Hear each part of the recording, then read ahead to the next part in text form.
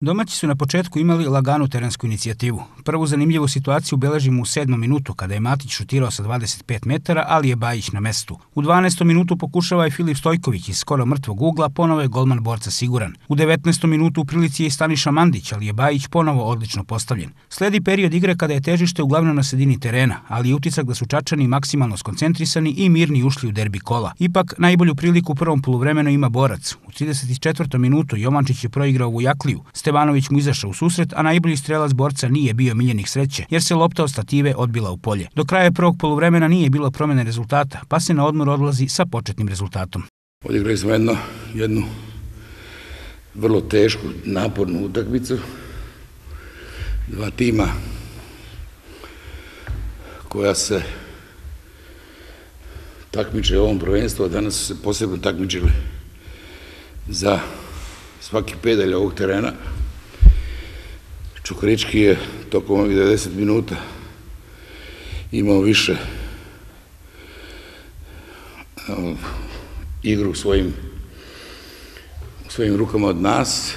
Nastavak utakmice počinje polu prilikom domaćih. Matić izvodi slobodan udarac, Pjasentin je najviši u skoku, ali prebacuje gol borca. U 51. minutu novo uzbuđenje pred golom gostiju. Stojković centrira sa desne strane, Matić u padu zahvata loptu, ali je za malo neprecizan. Uzvraća borac preko Zorića u 63. minutu, ali lopta leti preko gola Stevanovića. Pet minuta kasnije nova prilika za tim iz Čačka. Štoper Miljan Jablan natrčava na odbijenu loptu, zahvata je levom nogom, ali je neprecizan iz povoljne pozicije. Slede dve prilike domaćih u kojima su neprecizni Pavlović i Srnić. Malo je nedostalo da Čukarički stigne do prednosti u 79. minutu kada je rezervista Mirosavljević zahvatio loptu glavom nakon udarca iz ugla. Bajić uz pomoć prečke spašava gol. Minut kasnije nova gužva posle kornera, ali ponovo Bajić sjajno interveniše ispred Pesjentina. U 86. minutu Dragoljub Srnj šutira sa distance, a lopta završava preko gola. Ipak odbrana borca je kapitulirala u samom finišu meča. Lukas je u 90. minutu proigrao Mirosavljevića koji sa 16 metara matira Bajića za vođstvo i pobedu Čukaričkog od 1-0.